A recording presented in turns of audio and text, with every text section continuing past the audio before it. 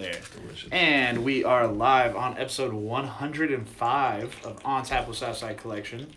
I've got my boy Carlos here. You stupid idiot. Who bets on the Rams? Take your hat off, dummy. That was Yeah. terrible. I'm almost. Hey, I almost finished. I feel that. I'm proud of you, bro. Get back at it. Uh, I'm gonna I'm gonna go ahead and introduce the show real quick. We uh, with us we have Josh Samples from Green Flash Brewery and Doc Loc of Doc Loc and the Swangers. Correct. I'm That's right. okay. Cool. I just want to make sure because you told us your real name earlier, and I was like, I don't want to put him out there like that. That's your, that's your personal info. The people that already know that, that's cool. Cecil. Yeah. Fred.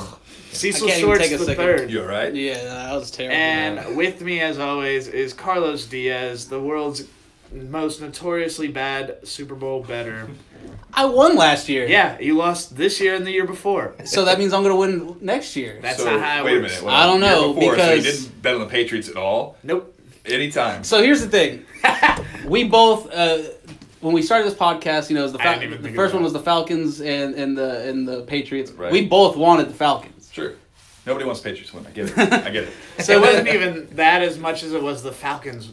Uh, to to quote Will I mean- Ferrell, they were so hot. I mean, eh, yeah, yeah. Julio Jones hadn't scored, you know, all all that year or whatever. But so then, the second year I got to pick because I lost, and I picked the Eagles. Okay. I like yo. You have a thing for birds.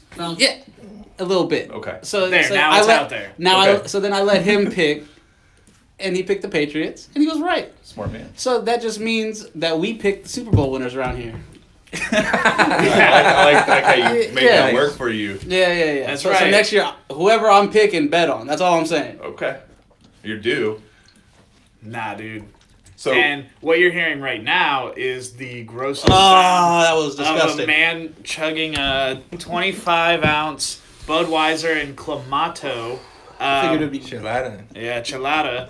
And I have to remind everyone, it is the only one with Clamato because that's something to be proud of. officially licensed. Yeah. So, um, yuck. Yeah, Yeah. So yeah, I, that uh, the six pack of silence, which will be thrown at me, you know, at a date to be determined, and then I can't wear my hat. Lusciousness. And right. for those Yeah, of you yeah. only listening to the show, it looks gross. looks Ugh. better than Garrett's hair. I didn't realize you. that was what was under that hat. Garrett's hair grows like a Monchichi. Like it's just yeah. So he's envious of how my hair grows, and that's just what it is. Luscious- yeah. locks. Well, yeah, dude, I have newscaster hair. Yeah. You have fucking kingpin hair. I I don't feel like like you it. cut those, that you lose your power, kind of like you know Samson or something, right? That's the point. Yeah. you That's gotta let it grow. You know, a little bit, man. I don't think I've gotten a haircut in about a year now. So. Alright, I You know, can't do just that. let it man. hair. You know, I'm also trying. My beard's trying to grow up to be like your beard. So, Yeah. yeah. That's a lot of lot of practice. Yeah, yeah. Water it a lot. Yeah. Oh, this is Are you alright? the most disgusting thing I've ever done It could have been Four with a Loko. beer. Can you wanna- pour me up some real Dude, beer? you know, he when I mentioned that I considered doing Four Loko, he rev like he was happy about that. Yeah. He's like, "Oh, dude, I would have chugged that." Like, yeah, 'cause I, I knew you would like it. I can't just let you have it. What? Why would? Yeah. Don't ever do that. I did. Like I said Like like earlier, Kanye said, bro. I'm a sick fuck. I would have chugged that four logo, no problem. You wouldn't have seen me once about That it. would, that would hurt so bad. Oh, yeah, I played. Power Hour with it. Like, Yeah. that was just little shots at one time, and that just was rough. So, Uh, for those at home that don't know what power hour is, can you So- explain it? oh, to me? yeah, sure. Power Hour is when you take a shot of a beverage of your choice. You can do it with wine. Don't recommend it. Or Four Loko. Don't recommend it. Or but typically beer, every minute for an hour. So you time it. So you start it. you know. Four o'clock and you go to five, but you take a shot every hour, So every minute. there's also and how we used to play it, and we did it with wine and stuff. Uh, is It's rough too. is they have like playlists on YouTube, and the song changes every minute. hmm So you could pick like a '90s playlist, and it'll change every minute and stuff like that. That was always a good way to do it. I like I liked I liked it with the music. It's way more interactive and less depressing than just yeah, like, sitting there sitting there waiting for the time to go. yeah, Fair yeah. enough. And No, you I- don't have to remember a couple hours into the game. You're That's true. That's that's helpful because that is the key. Like you get 10, 15 minutes in it, and you're just like, what? And it feels like it comes every second that you're like taking a shot, and you just forget, and like you're four behind. Next thing you check, and you're like, shit, man, now I gotta go. Oh God! Now I have, to, I have to catch up to everybody. Yeah. Why am I friends with these people? Oh yeah, Yeah. that was the word. Yeah, when you go to the But drink bathroom. responsibly, kids. oh yeah, Oh, for yeah, sure. yeah. Drink responsibly. I had do a at home, no I- I pee. had at a home, yeah, because Yeah. that's five an hour, right? Yeah. Five, 12 hours. Yeah, yeah, yeah. Yikes! The uh, I had a I had a I gotta friend. do something over here. Yeah. I had a friend who, math. who had a Quick roommate, maths. and she loved. She would hit me, "Hey, you want to you want to power out?" sure. I, I mean, that's what it, that's how it did for my Yeah. roommates when we lived uh, downtown before I became a married man. I'd be like, we're we're gonna watch Star Wars, and you know what? Well, let's play Power Hour. Let's watch this and do that. I mean, you know, saves you money in the long run. I guess is you're like one or two beers instead of going out and spending seventy five dollars. Right. So, True. You get equally as housed. way faster. Again, drink responsibly. Of That's course, what the yeah. show's about. Ugh, God, I still taste that fucking clamato. Mm. Doc Loc, what is the worst, even alcohol or non-alcoholic drink you've ever had that you could remember? See, I went right to my favorites. Um, Right? I, I don't. I don't. Um, I because they're and- bad. And it, it's it's been a minute, so um, I'm trying to think of. Uh, uh, I, the pull, pulling a, uh, a a can of beer and there being a cigarette in it. Oh, That, Nice, that's dude. a nice cocktail. Hell yeah. ugh. I hope I'm- The 2 a.m. cocktail, dude. yeah, hi grandma. Hi, Doc's grandma. She's probably watching there. You know, Yeah. she, she's an avid Facebooker. I didn't, Okay. I didn't. I didn't know what to expect, so there's no warning. So. Oh, sorry. Yeah. I didn't know Sorry, too. Doc's grandma. No, Oh, yeah, no sorry. five second delay. We're 105 episodes in, so my mom gave up a while ago, because she did learn what to expect. My mom has no idea what we do on Thursdays. she, just she, knows- probably thinks me and you are gay because we've hung out Hey, not that there's 105 anything consecutive, yeah, 105 Always consecutive appear. Thursdays. Yeah, That or she just doesn't think I exist. yeah. No, she's seen you. That you once. Yeah, that one. Josh, time. congratulations, man. The Patriots won the Super Bowl. Let's just get it out the way. They did. Uh, I mean, it's, you know, you know something that doesn't get tiring is winning. and I, as a Pats fan, man, I uh, I get it from everybody else. Yeah. And so I get it. Nobody wanted him to win. I understand. Six rings for the greatest quarterback of all time, Tom Right. Brady, and the greatest coach. No Ariana Grande though. Yeah, no. Seven rings, man. I know, but that's that's gonna be the theme song for next year. So. I mean, it's okay. Uh, Speaking of Ariana Grande, I heard today that Davidson is with uh, Kate Beckinsale now. Dude, he gave her an What is going ovarian on? cyst. Or he burst her ovarian cyst. I don't even what. Working with Yeah. the baby arm. What's that's yeah, oh, that's the okay. rumor. Dog, who did you have winning in the Super Bowl? Sorry, we're Um, transition. No, I'm, I'm taking this off of Facebook. I'm sorry. no, I'm, ki- I'm kidding. I, Okay. I'm sort of. I'm sort of. Actually, I'm considering it. Um, no, no um, uh, I was. I was going. Um, I'm trying to remember who else was playing. Uh, the Rams. It was the you, Ram- you couldn't tell Ram- by watching going- the game, but the Rams were there and they were I- playing. I- actually, I was. I, I was going for the Rams because I don't like the Patriots. I just. Yeah. I just don't. Sure. So That's you fine. know, cheat to Huge- win is huge you know Boston philosophy for some people, and I, I, I get it. You know, it's, Oh, man. It's, uh, Whatever it takes, yeah. Whatever it takes. You know, so good. A little thing to figure out for next year for your bet. Yeah. If Alabama wins the national championship, Yeah, I the Patriots that. have to be in the Super Bowl. Don't pick them because Yeah. they will lose. Right. But if Alabama doesn't win the national championship and the Patriots are in, then you better pick the Patriots because it's the last seven or eight years running. It's been they've alternated years Yeah. on who wins. So everybody equally hates Alabama as much as they hate the Patriots. So Right. I guess it works. There is there's a hand. hatred for Alabama, but I will. There's something that they're more revered. Like people still are like, damn, Alabama is. Well, it's still harder. I think it's Bad. harder to do. You know, you got like a, Sure. a new team every couple of That's years. true. You Yeah, know, no, I'll give you like that. literally from top to bottom. I give you that. Yeah. I mean, it's still the same thing. Like somebody was talking about Joe Montana today and how he's the greatest, and I'm like, yeah, but you know, the NFL free agency didn't start till 1994, and uh, you know, salary cap wasn't until 1993. Like these are all things that Brady and the modern era guys have to deal with. Like Right. Montana got to have Jerry Rice in his whole, you know, his whole career. Like, oh, Yeah. cool, you get to throw to a Hall of Fame receiver your whole career. It makes it pretty easy to win Yeah. four Super Bowls. Uh, but yeah, no, it is what it is. It's uh, great. We did number six, and number six, we uh, you can guess where we put the other finger, uh, ring on the finger, but uh, Yeah. It's kind of cool. It's uh, they're going around and uh, kind of doing a little swan song that you know they you know they believe in this chip in their shoulder thing, and like they were uh, out calling out Max Kellerman today on on TV, and I kind of respect that. Like for Yeah. years, like people have trash talked the Patriots, and you know for whatever reason, but I mean at the end of the day, they actually acknowledge that they're hearing that stuff, and Right. athletes don't always try to acknowledge that they're hearing what social media is saying, and they're like, look, we hear all you guys, and they're they're blowing it back at you. One of my favorite tweets was that uh, I think I told you this last night.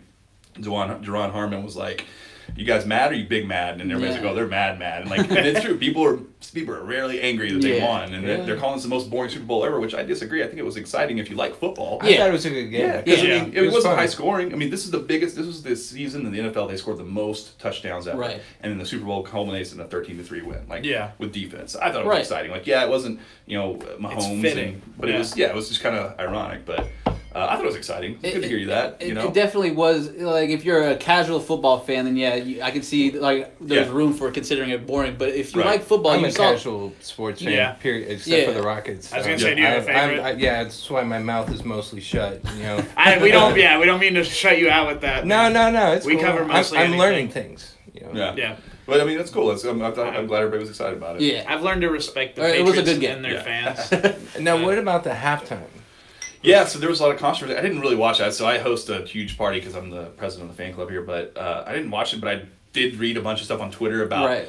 And there's some really harsh memes on Adam Levine, like taking his Oh, shirt nice. off. Like they they roasted him. They didn't get him as bad as they got Demi Lovato, but we'll Well, touch on that later. that's true. That's true. But they We roasted won't him touch on it. pretty, pretty bad. But I mean, I, I don't know. I thought I was for what I glanced at. I thought it was okay.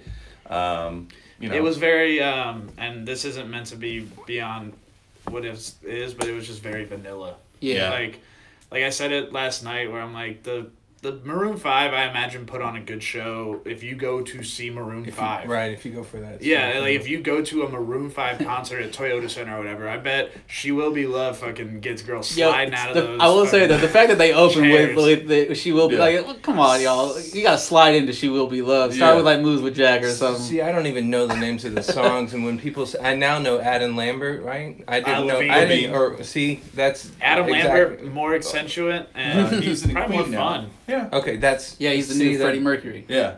See, but I've got. I think Adam Levine as a musician is super talented. Like I heard him on Howard Stern, like, and he he can play the guitar, and like Yeah. I think he's super He's talented. got But some good falsetto. yeah, but I think uh, somebody, I think it was Dee Snider, tweeted out like NFL, you play all these rock songs, all these metal songs in between breaks. Like, when are you going to play to your audience? Like, why are you playing Maroon Five? You know, you play you play rap and stuff like that too. Like in hip hop, why aren't you playing putting these guys? Obviously, there's controversy with that, but I mean, well, right, but it's like, yeah. So Maroon Five is is cookie cutter safe. You know, ever since Janet Jackson, it's been like really weird on who they've selected. Right. Um, and I think you know you play all this all this music in the stadium. Why not play Metallica at halftime or, Yeah. or whatever, Travis Scott, you know, whatever. The you know? amount of times they Right. come back from break and Mo Bamba was playing it had to Oh. be some record-setting number. Every NFL game I watched Yeah. this year, or not at, but like during every NFL game I watch, while they're still taking the field again from the timeout, it's I got oh. Oh, the Patriots played it in the locker room. They had one of those big, huge boom Bum boxes. boxes. Yeah. Yeah, and they were just they were playing it. It was it was pretty lit. But uh, yeah, I mean that guy's making some money now. I mean, Oh yeah.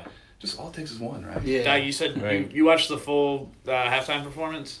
I did. So from a musical standpoint, you said he had good falsetto. Was there? I, I, stand I couldn't in it? stand it. I, I couldn't I couldn't stand it. I thought once Travis Scott came on, that was that was something that I was interested. I just recently discovered his music. I knew I knew that he was repping Houston really hard with Astroworld, Yeah. and um, that uh, I saw him give give homage to bringing the old school uh, rappers and, Right. and giving them a gig. Yeah. Um, so I, I appreciated that. And then when Big Boy came out in that Cadillac, I was like, Yeah. yes, yes, give me more of that. The one part uh, that I did like uh, with uh, Maroon Five was when they played together. Right. That was Okay, yeah. that was nice that that uh, that Travis Scott was playing with a real band. Yeah. That, Yeah, wasn't it know, like because they kind of separated separated in increments, right? Like Yeah. the Big Boy did his thing, Travis Scott did. Like I do like when they combine them all because I think we even talked about this the other day. Is that it's kind of cool to go to a show and not hear it with backup track. See with live musicians, like Right. there's Yeah. there's something to be said that that is a whole different experience. I've seen some rap acts do that, and it's like it's so cool to see them do that with a live band. We were talking about it because I told him who his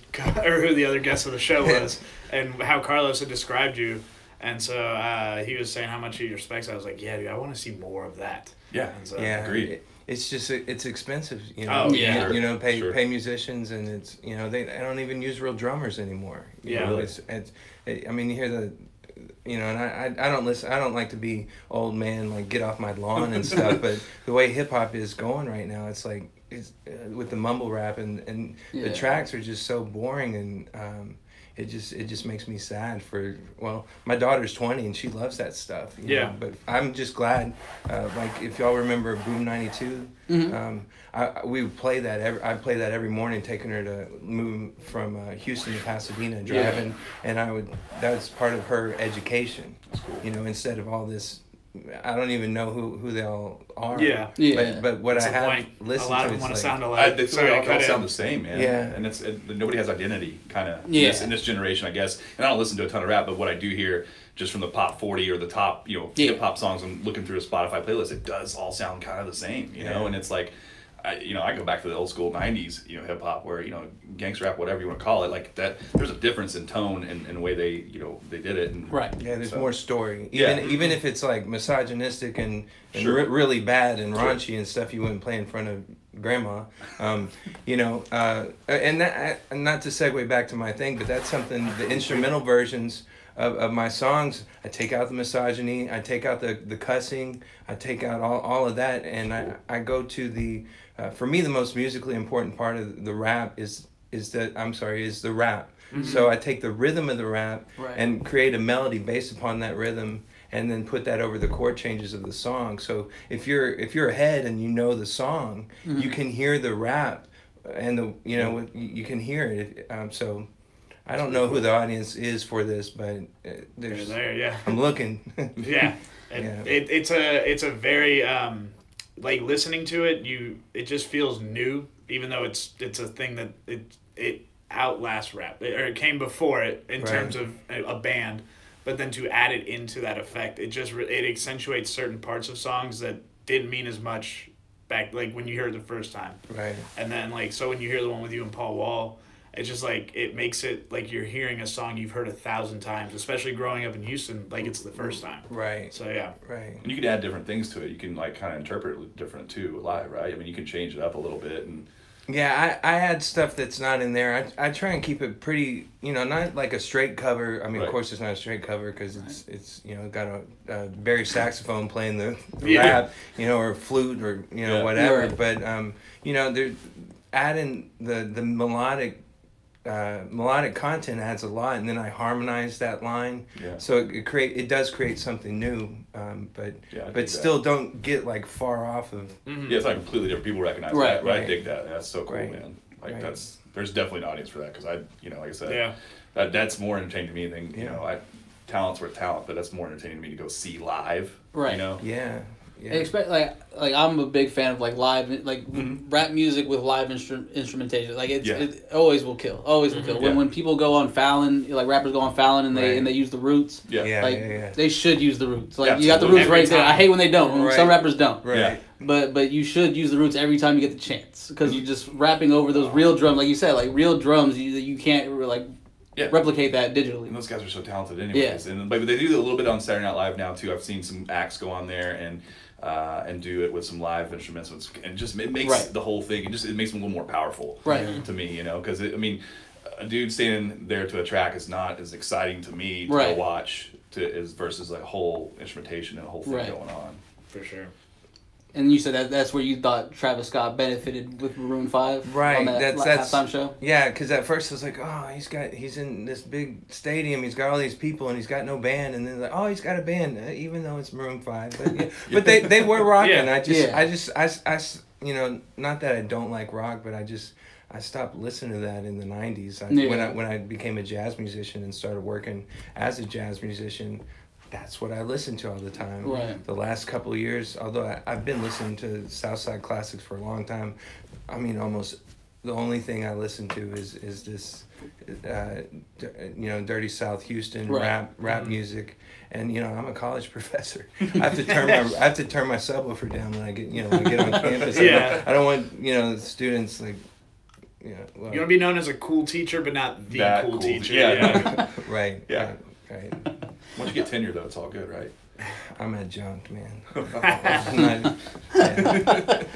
yeah. So, at what like when did you get into to jazz? Were you into music before you got before you became a jazz musician? I, I grew up in a musical household. My mom sang and played music and, and wrote songs. Okay. Um, so I, al- there was always a piano there. When I was 11, I started playing trombone, and all of my uh, private teachers from then on also played jazz. So I got introduced to, to big band and stuff when you know in like '87, Okay. year after I was introduced to the Beastie Boys. nice. So hip hip hop and jazz they went hand in hand. I listened to both, and um, yeah, I didn't have a problem. Like, oh, I'm a, you know, you know how people uh, click up in, in high school with you know you listen to this music or Right, you listen yeah. to this music. It's like no, I I, like uh, most of it.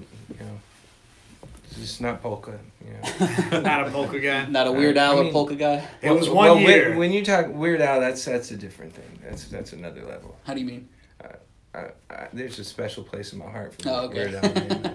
man. Well, you guys talented. I still Oh, see yeah. him doing some stuff. Yeah. But he kind of leads into. I saw a couple like I guess what they call nerdcore rap, and I don't know if you've seen those guys like MC Chris. Nerdcore, no. Yeah, they rap about Star Wars stuff, and I, I saw Ah. MC Chris live. Like it's pretty good. Like Fett's Vette, check it out. It's like, actually Okay. not a terrible song. It's definitely dorky, but it's it's not bad. Wow. Yeah, there's a whole thing. So check it out. I'll say this, and he's better than I could ever be at the job. So take me for whatever that's worth. okay. Uh, if you ever have someone tell you that Mark Ribbley or Ribble Yeah. is good, Yeah. don't don't believe him. Don't believe Don't the producer, right? No. He's whatever he Yeah. is, dude. Yeah, yeah. yeah, he was on Howard Stern. Yeah, he's a. I listen to Howard a lot, but he was a producer, and like he did the song with uh, Miley, right? Was Did he? on- uh, I don't. Oh no, you're. I think you might No, be thinking Mark- of Ron, you're thinking Mark Mark Ronson. Okay, which is good. Talented. Yes. So Marc Rebillet, I know the name. He's but- a he's like a But it's not comedy good, so I don't need to know DJ, EDM DJ. Oh, EDM. Uh, he makes like viral. He, he has a lot of viral videos where he's like he's he's surrounded by his keyboards and his and his uh, turntables and shit, and like the the lyrics are pretty much like "Let me rub your ass and titties," and like it's just that over and over, and so Okay. like his And live it's meant show. to be funny. Like Yeah, his live not. his live show is dick jokes and bass drops and poop jokes. Hold on, there's poop jokes as well. Oh well. Well, I mean, Yeah, I mean, I still laugh at fart jokes and poop jokes these days. that's occasionally. I mean, it's still I funny. think I'm it's not still gonna funny pay no matter thirty how- dollars for it. Yeah, I'm No. gonna not gonna pay No. thirty dollars No. for it, and then also it's like a, like a joke is funny, but then when you drag it along, When you have 18 different Oh. jokes around the same, yeah, It's like a 15 minute song. it's like Nick With like three used to to be four funny. Right. drops. wow. Yeah. It'd be like if, um, if we Dane weren't making Cook- money to be there, we wouldn't have been there. yeah, it's like if Dane Cook just kept doing like EDM music and kept saying the word sandwich. Oh, Sandwich. man. He didn't do EDM, did he? Dane Dane Cook? Cook, no. Thank God. Nah. He was bad enough as it was. No. No, Dane Cook right now is just known for um, dating a eh, yikes young chick, like Like, Oh, a little like just 18, like a little stranger ting. Good old Hollywood. Dane It's normal there. so then, when did you when did you pick up and, and decide that you were going to make music? Well, I, I knew in high school I wanted to major in music. In, in college, I, actually, I wanted to be a professional uh, trombonist, um, like classical trombonist. It, it was my dream to be in the Houston, uh, not Houston Symphony, uh, Chicago. Okay. So Chicago's you know one of the big, big, biggest, best, and um, and then uh, not not that everybody will get this, but uh, when I had to learn tenor clef, which is like a, a whole different way of reading, you know, it's just it's just a different different thing. I just shut down. I was like, I want to play jazz, and I was already taking. I didn't take piano lessons till I was eighteen. Okay. Um, and I was already taking piano. I really deep down wanted to play trombone. I uh, play. I keep saying trombone because I play trombone, but I I, uh, I I really wanted to play jazz, but I didn't understand it. It was like a secret handshake. you know? Yeah. Um, and and it's like that for listeners too. I think.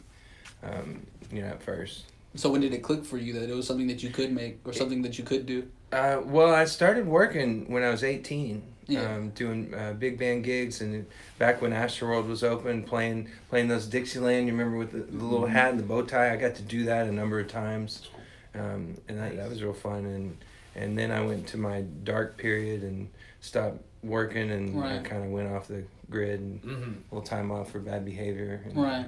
Did your own thing. Yeah, yeah, just working for the state. yeah.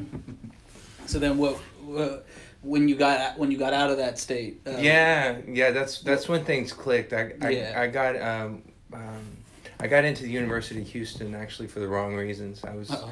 I I had a car that needed new transmission, Mm. and I, I thought if I go to the university, I can get a student loan, Uh, and so I did. Yeah. And then I kept borrowing money. I got a bachelor's in 08, um, 10. I got a master's. And Did you fix the car? 15 I did fix the Okay. car. I did fix the car. All right. I still Got feel like it, it was legit because you need trans. You know, you need transportation to get Yeah. to the school. Sure. Yeah. Um, so I justified it, and one hundred and five thousand dollars later. Um, I'm qualified for a lot more jobs. right, right now I can I can work part time at a university and teach Right. one class, and uh, uh, at that rate, I'll I'll pay back the money in a couple thousand years. There you go. Is the word, is the word restitution that they, they should they should pay you for teaching? For, yeah, just like we're gonna take a little bit of thou- a couple thousand dollars off your Yeah. loan every every semester. Right. You know, that'd be nice. What are all the instruments that you can't play? Well, piano, trombone, and I sing. Okay. Yeah. So definitely the most musically proficient guest we've ever had on the show. and then I saw Yeah. on your IG bio that you have skee ball in there as well. I love Oh. skee ball. Yeah, I, I learned how to play skee ball actually um, in New Jersey. Is there a Um, trick to it? Well, that's just it wasn't a yeah. You gotta have you know technique. Yeah. it- it's bouncing patience. it off the side in the right place, and um, you know my uncle Hank had a. Uh, everybody should have an Uncle Hank, by the way. Yeah. So so my uncle Hank had a, a ice cream parlor and uh, on, on the boardwalk. Uncle Hank now. Back when the boardwalk wasn't like nasty like it is now. Right. Um, The Jersey Shore. yeah, yeah, yeah. So so I learned I learned down there. Was, So Dave and Buster's and stuff hate you because you, you go take all their tickets. Dave and Buster's is so overpriced. I, Yeah. I, I, unless I know someone, I'm not going there. What about barcades? You go with the barcades. I mean, obviously, you know, Yeah, when, the- you, go to those, because they're not always maintained properly, and so those are the kind of Um, wonky ones, right? Hmm. No, I, you know the only the only bar that I go to to play games is, is Poison Girl because of their Yeah. pinball selection. Yeah, they got a great Okay, one. nice. Yeah. They do. Well, you, when you say wonky, like you- or not well maintained, do you mean like like you could cheat them? Do you think, or Yeah, like okay, yeah, for like a, sure. like a tilted fucking uh, yeah, like I mean, those are all designed to cheat. They're all half free play now. You can cheat them, but like, Yeah. You know, there's they're not like obviously they're also you may not get a ball back, and you may start Yeah. with, start with like seven, you may end up with only five, and you're like, well, I guess I can't get a high score, but Yeah. Yeah, Yeah, Like the basketball And that's how they games, they maintain. all come out flat. yeah, the balls are all Like, flat. how did these even roll to me? yeah, it bounces off the backboard.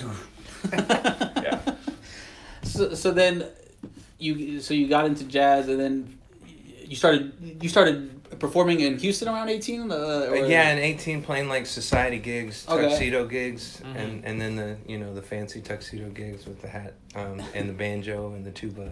and then you broke off into your own. Yeah, I, sta- I started working like as a soloist, um, you know, playing like restaurant gigs and uh, getting into weddings and stuff. I'd say um, 2000, uh, 2000, well, 2003 actually before I stopped. Um, in my, well, I keep alluding to, you know, I, I, I got clean and sober. Right. Yeah, um, I got in, you. In, in 2003. So I, there was a period where I was, I was, uh, you know, my, of course I'm going to work at a wine bar where I get a, you know, free booze at that that, that stopped by the way you know there's Yeah. still you know it's one of the biggest ones in town um, tasting room mm-hmm. and uh, you know uh, that was my first steady gig Yeah. of, of all and and then uh, you know getting you know having a band like uh, my first CD uh, second CD having a sextet having horns nice. uh, which is you know that that wasn't hard enough so i thought i'd move to a 15, 15 piece Yeah, band and see about you know paying them for rehearsal and for for gigs See how many personalities you can manage at once. right Sounds like a nightmare. yeah like that split You movie. leave your class, you're like, all right, guys, this has been fun. We've got 15 more people to uh, I'm to- instruct. Yeah. they already Yeah. know what they need to do. It's a matter of getting them to do it. And then if you want to see me downtown, I go by Chocolate Daddy, and I will be, you know, playing some music. I'll be the gold guy Yeah. uh, with the hat in front. uh, by the way, I I liked uh, Laura. I love, Oh, I love that track and uh, uh, in your Billy Joel cover. The, uh, Oh, yeah. I like what you brought to it. Yeah, I did it a lot different than Billy Joel. Yeah. it's like ten minutes long and goes into free jazz at one point on the sax solo. But it is dope. It is Yeah. very dope. Uh, so then, at, at what point do you become from a solo artist to Doc Loc and the Swangers, where we're at right now? That's about um, five or six years ago. I, I, I came up with this idea, and I think I got it from uh, the pianist Jason Moran. He's a uh, you know HSPVA grad, doing really. I mean, he's he's something else. And uh, he came and did a clinic with a, a mini disc player Hmm. playing Mandarin. He had re- recorded Mandarin at the uh, uh, airport, and he transcribed that. Like he created, it's this similar thing. He I didn't just like create this. Yeah. I think I, you know, I have to give credit to him. He he he made songs off of this this language he didn't even understand. Okay. Um, and then uh, I didn't get the name until about a year ago. My my friend uh, my friend Glenn Ackerman my, uh, plays bass for me, and um, he said that I'm uh, equal parts street and equal parts conservatory. And so doc doc you know doc for the doctorate Right. Loc that that was uh, um, a, a, a nickname I had for my friends in the Fifth Ward. So when I got out of prison and stopped selling dope, they said I loked out of the game. Yeah. My name's Henry Henny Loc. So I dropped the Henry Doc Loc. So and that's the first time I've explained that because I, I, I, I don't, you know, I, I I know that some of my students like search my name and stuff, Yeah. and Yeah. and I, I, you know, I'm, I've, I've had some interviews before, but it's like, um, you know, they're not gonna see this one. I don't think. I don't. I don't believe so. If they do, if I they do, apologize ahead hey, of time. No, if, Still sorry to your grandmother. And No, they'll clock out when they see me chugging that clamato. Yeah. so which time I- we Yeah. watch. Why That is guy's not not a having a Four good time. That sets Yeah. that sets a tone, right? They're like, oh, it's one of those shows. Yeah, exactly. Like, he should be wearing a hat. Yeah, yeah, yeah. His hair's everywhere. Why is he wearing a fucking Where hat? is this gentleman's hat? Ugly bastard. So, so then, wh- when did it occur to you to, to, to take the classics that you like and and make them more big band style? Yeah, um, I'd say about five or six years ago. Yeah. And I started with the Paul Wall, um, and I told my friend Dan Workman, uh, who's my co-producer, and Right. uh, Dan Dan actually knows Paul Wall. That's how. Uh, it, you know the connection. They work on the Grammys and Texas Grammys. Right. And, you know Paul Wall's involved in the Grammys, and uh, Dan's a uh, you know he's he's a he's a badass. Yeah. Um, he he's the one. He just recently sold Sugar Hill last year. Okay, nice. Um, so it's that guy, and, and when when Very I nice told studio. him this idea, and we we've been I've probably been friends with Dan for about ten years or or so at the time, and Yeah. when I told him this idea, he said, "That's a good idea. Mm-hmm. I'd like to be a part of that." And and like that got me through a lot of stuff over the years when I Yeah. because this is no small undertaking at all. right.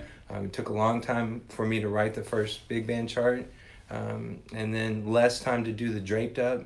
Um, the uh, I think it's an octet or a nonette, eight or nine piece, and um, then then I got a grant last last year from Houston Art Alliance, which is what you know gave me the push, uh, the backing to do Right. what we did. You know, the recording last year and what we're gonna re- Do release. you write next all the month. music for Every part, everything. that's cool. There's no improvising Right. in in in Doc Loc and the Swangers. Everything is written written down. Like even live shows, like do you let them? I don't know yet. We have you know this is our first Yeah. live show. I, I I I I thought of throwing in some treats. You know, telling them we're gonna do we're gonna do eight songs. Um, and uh, uh, there there's some stuff that I, I've written that I don't have rights for that I thought of maybe just sliding in. Sure. There's a Big Moe uh, medley that I wrote, and, Nice. and when I called um, Wreckshop Records, they very quickly shut me down. Um, That's so unfortunate. like- it, it it really is, um, and How receptive was Paul Wall to the idea? Because I mean, He- they, they re, you know, he got on the track and, and laid it down for y'all. yeah, so we, we sent him the, the big band version, and and uh, he he told Dan that he'd do it, and it you know it took a couple months or whatever. But then it, it's funny they ran in, the story that I got. They ran into each other at the, in Austin, Texas Grammys. Uh, Dan sees that Cadillac just fly by him, Right. And in the like in the morning, he got in his inbox the the the vocals. Nice. Um, and uh, when when the Houston Chronicle wrote an article for me um, about about the project last summer, Paul Wall was quoted in the article. Like Dan, Nice. uh, Andrew Dansby called Paul Wall, and, and and he had like some wonderful things to say. Like he, he was like, I, I need to get on this, you know. That's awesome. And, awesome. and when I, I I saw him at a um, Johnny Dang's one day, and I When you were I've seen him a couple of times. grill? I already had it actually. uh, I almost wore it, um, but again, I don't want my family to know I have a gold Fair grill. enough. Um, and they yeah. Carlos would have wore his, but he didn't want uh, residual clamato in it. Yeah, no, for sure, for sure. I would have taken it out before I drank. yeah, yeah, but yeah, he was he was. I mean, I already thought he just he looked seemed like a nice guy. Right. Uh, But in, in person, I mean, he's definitely, you know, he's the people champ. That's that's why that's it fits. you Yeah. know, he, It's not was just real, a name. Yeah. He was real, real generous. Um, you know, being in that article and saying, you know, telling telling the truth and just to to read it. You know, it, it's another thing that I, I should probably have it on the wall, like the big quote of just cut me out, but Yeah. have like what Paul Wall says, Right. be like. You're doing the right thing, Henry. You're doing the, you know, keep keep at it. That's So- amazing. It's like uh, Mac Miller, rest in peace. But Yeah. At Mac Miller's house, because Jay Z, I think it, total has like hundred tweets Yeah. total Yeah, ever. Yeah. yeah. And so one of the tweets, he kind of just went on a roll of like artists that he thought were good, and one of them was like, it, it mentions a couple other people, but it says Mac and them, and he had that tweet No, framed yeah, and hung it's in like his J- house. J-Rock Schoolboy Walla. Got Yeah. that dot. Mac Miller's dope too. I Yeah, there you go. Yeah, That's pretty cool. He hung that one up in his house. Yeah. Yeah, So- that's like Prince saying you can sing well. Right. right, right, right.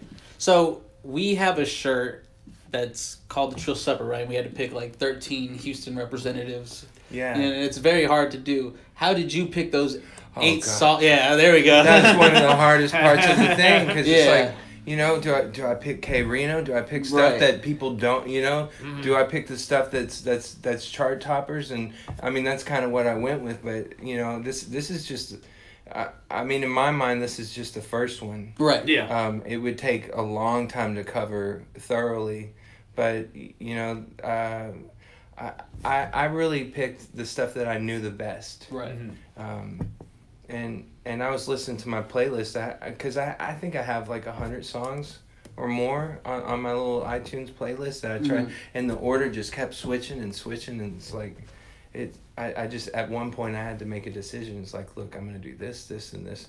Because I, I, I, I didn't write most of the summer. That's when I was gonna do all the writing was last summer. Right. and I, I'm a you know I'm an old per- procrastinator from, from way back, um, but it, you know I just had to just had to pick one and pick the next one and Right. once I got done you know pick the next one so Do you have a method to get you out of procrastination, or is it's just it happens when it happens? actually uh, I have a I have a mood disorder which Okay. is uh, makes life um interesting Mhm. um, you know, so I have bipolar, and and it usually, you know, when I come out of that, I, I have just tons of creative energy, Right. And and I try and like I tell my therapist, I, I like to use my superpowers for good, Right. and and uh, that that it helps. Yeah. You know, and and what I forget, composing for me is an antidepressant, Okay. and it's like it's one of the things in my life that I forget that makes me feel good that Right. I don't do to excess, like those, you know, like like food or sex or you know spending mm-hmm. or gambling or what. There, you know. There's those things that are are able to pull you out of that valley or like Yeah. or whatever that that feeling is at the moment. You're like, I know these are some of the things that I do that do help with that feeling, yeah. and it's you just forget, and then Right. you start it up again, and you're like, I should have done this like two months ago, Yeah. or something like that. Yeah. I can't. I I don't fully understand, so I don't want to pretend to. Right. And obviously, I never compose any music, so I can't pretend to do that either. yeah, I could pretend. It just would Yeah. come out. It sounds hard. Use and- big pencils. That's Big that's pencils. what I Yeah. use big pencils. All right, there you go. Yeah, so it covers like lines and spaces at the same time. It's like spreading your food around to make it look like you eat it. There's, there's a lot. There's a lot on here. I guess. I guess it's good. So Yeah. so what eight songs did you go with? You got you got draped up. You got sitting sideways. Okay, I brought this for a reason. I knew I'd forget. Um, so, um, oh, and that reminds me of something else I want to tell you, um, which is very, very fresh. Um, so there's there's going to be nine. Okay. Um, Sitting Sideways, the the one that we already released, uh, featuring Paul Wall and Big Pokey. Then on my block, Scarface, you already know Big Hawk, Twenty Five Lighters, DJ DMD, Draped Up, which which I mentioned, uh, Swangin' and Bangin' by ESG, Back Back by Lil O. Want to Be a Baller, Lil Troy, and then end them with a this hasn't been released yet is the Sitting Sideways instrumental version. Nice. So it'll be a nine a collection of nine songs. Okay. Nice. Nice. Yeah. And this is a 15 piece, you said? or- 15 A- actually um, it's going to be 16 Okay. it, it normally is 15 but my friend in austin uh, we were speaking yesterday uh, andre hayward he's actually a rather famous trombone player in the big band world he, Okay. he he's, he's going to be playing with the count basie band soon he plays with the ellington band was with lincoln center i mean and then a lot of the more uh, mod- i mean he's he's a bad dude and he's gonna play because i realize i can't play piano and trombone at the same time not not very I tried. well. Yeah, yeah, in the studio i played trombone and then i went back and overdubbed piano but i, Right. I was like uh, i can't really do that So, Right. yeah, so it'll be 16 musicians yeah Nice. Okay. cool. Nice. What i was gonna say about those tracks though i went to the screw shop for the first time I was, I was just about to ask you. yeah, yeah, yeah, yeah. And we so go. I, I talked to DJ Red. It it looks like there's going to be a slowed and chopped version too. That's awesome. That's cool. Do you have like a like a uh, timetable on that or? Well, uh, honestly, I'm still waiting on rights for a lot of, for like five more of Right. these. So I'm I'm you know fortunately got a really smart good lawyer working on it, and um, fingers crossed because it's it's, it's already mastered. Right. So uh, I kind of be This cru- has to get out. I kind of be crushed, but it's it's gonna be released on St. Patrick's Day, and, Right. and that's nice. that's when the concert is. over at the Preston Theater. Preston Theater. One time for yeah. Preston Theater. This is actually a very nice theater. Yeah, it's cool. They do comedy sports there, and um, uh, it, it's a real nice venue. Mhm. Um, I worked on a musical before. That's where we practiced because there were dancers. They got a, like a ballet type room in there. Cool. Yeah. Nice. So, what are some of your musical influences? Uh, J.J. Johnson on trombone, Bill Evans on piano, uh, Gil Evans, the, the arranger, um, Miles Davis. I love John Coltrane. I mean, all the all the dead jazz musicians. You know, I, li- like like a lot of the usual suspects. Um, Yeah. But I, I wrote my uh, thesis on Bill Evans and his influence on uh, jazz piano. Okay. That's on YouTube. You know, um, if you've got like forty five minutes and a, a real interest on, um, you know, theory Yeah. and the octatonic scale and you know I, I, I know you you know you, you, your people are into that right? Oh yeah. I, I, I like Miles thing is- Davis. yeah I, he was he, to me he, he was more than just a musician. He was co- almost like a comedian in a sense. I have uh, one of his records live at Coconut Creek, Yeah. and he has like a good like five minutes of just stand up. It feels like. I've never heard that Oh, Never man, it's that. great, yeah. oh wow yeah he the cool thing about Miles he was he was a part of like every Right. musical movement from bebop to to, to hip hop right. he was always there. You know, a lot of like Bill Evans kind of did the same thing his whole career, and but I mean he got better and did beautiful things. And Coltrane went on this, uh, you know, a trajectory where he he went outside and like he went kind of interplanetary. But but Miles was just he he always had a knack for picking uh, picking the new talent. Yeah. Um, and you know, and they, they would go on and do big things if you were the Miles Davis band, pretty much. There you go, Uh, sir. I admittedly do not know enough about jazz. Um, I know I read to it. Yeah, yeah, kind of blue. Like if that's what I always recommend to my students. Like if you were to start, if you had one album, Miles Davis, kind of blue. It's very accessible. It's not, you know, it's not Mhm. real crazy, and it's super chill. Like yeah. good to read too. Okay, nice. Yeah, It's got roots in like all these other music, you know, metal to, to an extent. And there's like you know, jazz, or R and B, like all there's there's roots in jazz and like a lot of music that I've Right. that I've read. You know, I don't know enough about it either, but uh, you know, I can see like you know Zeppelin had roots of, of jazz in their in their music too and things like that. So it's kind of kind of goes through all music, I would think. You know, yeah. Who's that band that's the new Greta Van Fleet? Greta Van Fleet, the fake Led Zeppelin. Yeah, I, I haven't heard any of Oh. the music. Is it, I is call it them like a, five foot two Led Zeppelin. Those guys are all tiny. They're they're good. It does. They get a bad rap because they or bad rap because they do sound like Zeppelin. The guy's got that falsetto voice. I mean, he's close to Robert Plant. Nobody can duplicate that. Right. They're they're talented. Right. Their songs are good. Um, but they're now like trying to separate themselves from that. Like, and people are like, no, no, no. This is the bed you made. You gotta you gotta Yeah. lie. it. Like, you, you want to be Zeppelin now. Now, you- now you gotta Right. be Zeppelin. Now you can't be something else. You want to go, ah. Yeah, and all their stuff's you like all your songs. We're going to call you on it. Yeah, it's all spacey and you know about giant mushrooms and stuff. You know that kind of thing. That's what's up. That's How what's many subgenres of jazz are there, and how many do you actually consider jazz? Good grief. I don't. That's Yeah, that's there's a lot. That's a Um, tough one. Um, Be weirder if you came back to like right when you asked. You're like, oh, dude, there's 56 subgenres, only five of them are real.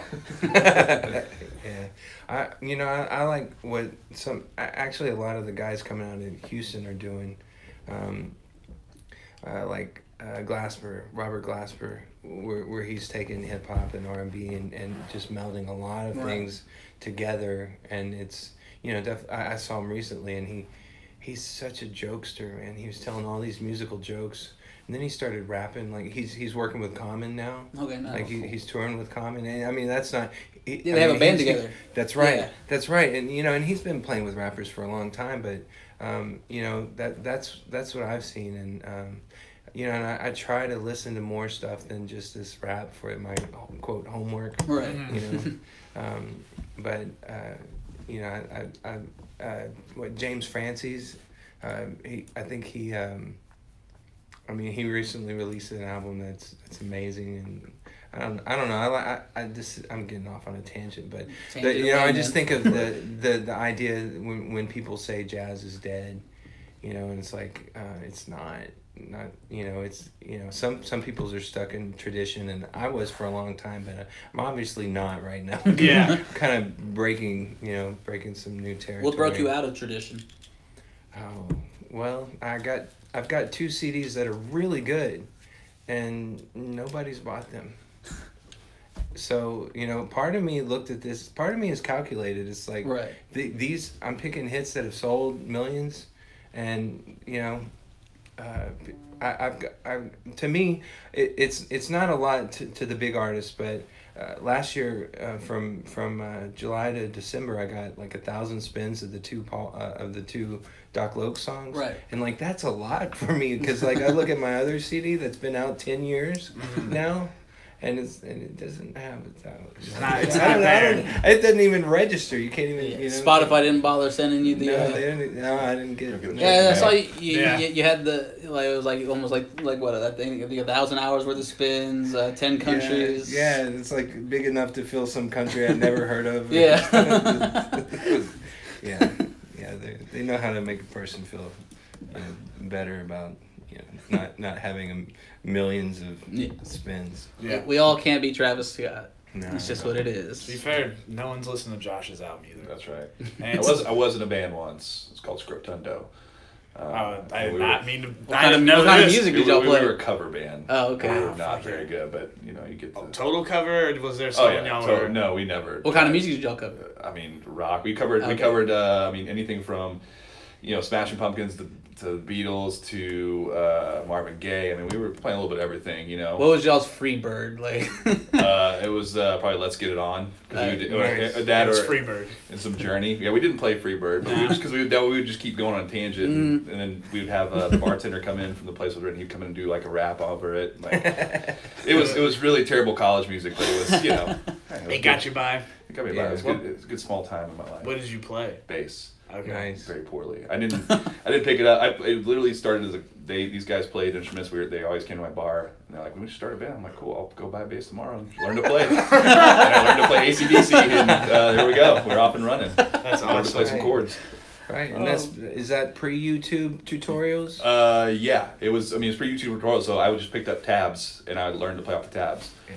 So I taught myself how to play, you know, some chords on bass. Right. You know, when I pick up, I got like seven guitars at home that we were that we have now. So one day my son's gonna learn how to play guitars, but he won't be learning from me. So There you go. His uncle, his uncle plays guitar really well, so he'll learn. There from we him. go. What did you say the name of the band was? Scrotundo. That's what I was afraid Yeah, of. cross between uh, rotund and scrotum. Yeah. Oh, And we had a lot in it, and uh, it was great. Yeah. And boom, you're you're And a booked. lot, At, uh, a, you're lot of, a lot of the real bands in Waco were like, you, ah, you guys like make money because you do covers. I'm like, I guess. I don't, I don't know. We don't really make any money. We play at Yeah. our own bar all the time. but yeah. So yeah, we book ourselves. Yeah, lot, we- yeah. I, We're I, booked. ran, I ran the bar. I was Yeah. doing the booking, so I was like, well, we're gonna play this day and this day. We're gonna play homecoming weekend. You know, because we didn't have to pay us. Yeah, we didn't pay us. that How long did that last? much. Like two years. Then we broke up. Okay, that's Yeah. that's a lot longer than Yeah. most bands, honestly. Yeah. Yeah. Did you ever find yourself in like in a medium between between uh, yourself and Doc Loc? Was there any bands that you were in? Oh, I was in a lot of different bands. I, I was in Los Carnales. Um, I was in a lot of funk groups. Um, Okay. I was in a Tejano band that played uh, Tejano music and funk music. They're called TJ Funk. so they could play like the traditional um, uh, Hispanic, uh, like Mexican wedding stuff. Right. You know, playing the Tejano and then play like Tower of Power and, and you know Average White Band. You know, playing playing that kind of stuff um, for for dancing. That was a lot of fun. I was in, I was in a ska band in 90, 97, 98 at John Q. Public, which nobody knows who they are, and that's okay. It's re- actually I don't really remember much of it, but Fair enough. it was fun. I remember that. I remember that whole ska thing. This guy was huge. Yeah. Yeah. Big Yeah. Yeah, so it was fun. Like ten years later, or more than ten la- years later, playing keyboard for uh, Los Carnales, Yeah. because that's I was like a rock star. Well, so. I know I've heard of them, and uh, I got somebody who was you know, play with Play them. that. I- I- A buddy of mine was a drummer with them or something like that. But Yeah. uh, but yeah, th- that kind of leads me to like ska was big, and then you had like Cherry Poppin' Daddies, who the big band like had a little run. right. You know, back then it was kind of cool. I even I learned to uh, to dance to that. Swing dance, Yeah, I learned yeah. to swing dance with that back in high school. Yeah, I learned all kinds Cherry of that. poppin' daddies. Cherry Poppin' Daddies. All right. That's a name drop you didn't expect. I did not. No. Sorry. Bringing it. Cherry Pop and Daddy sounds like uh, the group R. Kelly started. Uh, So speaking of name Oh, drops, uh, speaking of name drops, Josh, I would be remiss if I didn't ask you to uh, at least let us know what these beers were that have been open so far because all three have almost been ran through. Yeah, we uh, well, once we got past the clamato, they these do not have clamato in them. yeah, I've been. They could if you want. They could. Uh, this actually, the first one we had that's not labeled is a beer called Baja Bound. It'll be uh, hitting the market uh, later this next couple months. It's a 5.7% lager. It's called a Okay. Pacific Lager because we're in San Diego, so it's supposed to make you know be easy drinking and uh, light and think about being on a beach somewhere. So it's pretty it's pretty chill. I liked it. Um, second It's, one, it's pretty good after Clamato. yeah. I mean, I would hope most things are. Yeah, yeah, washed it yeah. down. Yeah.